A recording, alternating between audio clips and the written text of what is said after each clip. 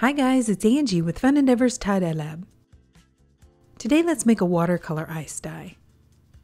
I've prepped the shirt like normal and I have it turned inside out. This is a long sleeve shirt that I'm going to do today.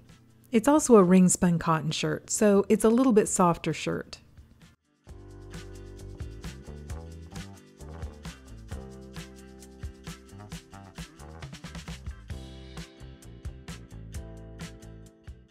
I'm adding some tall, deep scrunches to the shirt, and then I'm going to cover the shirt with ice.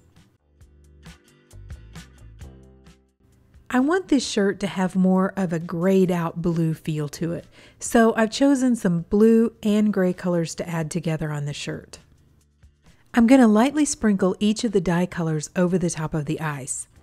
I'm using Grecian Sea from Dharma, Alpine Blue from Dharma, brushed steel from Dharma, and blue MX2G from Custom Colours.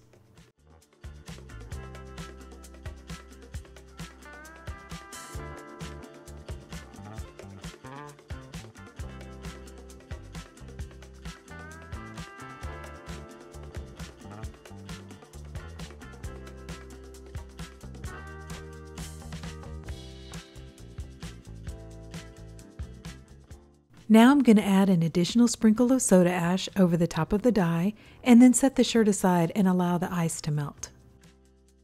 Here's what the shirt looked like after all the ice melted.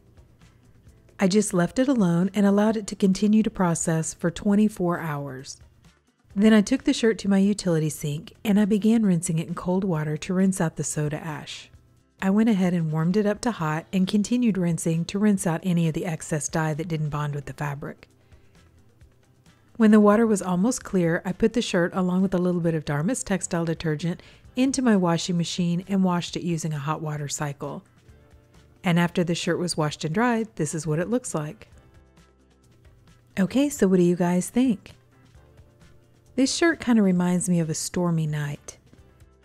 The way the dye moved on the shirt and then the color patterns with the gray and the blue, I just, Every time I look at it, I always think of either a stormy sea or a stormy sky. I think it looks really pretty. I like the color splits and I like the color combinations, how there are lighter parts and darker parts. It definitely has a very watercolor feel to me. And that's what I was going for. So overall, I'm really happy with the shirt. I think it looks really pretty.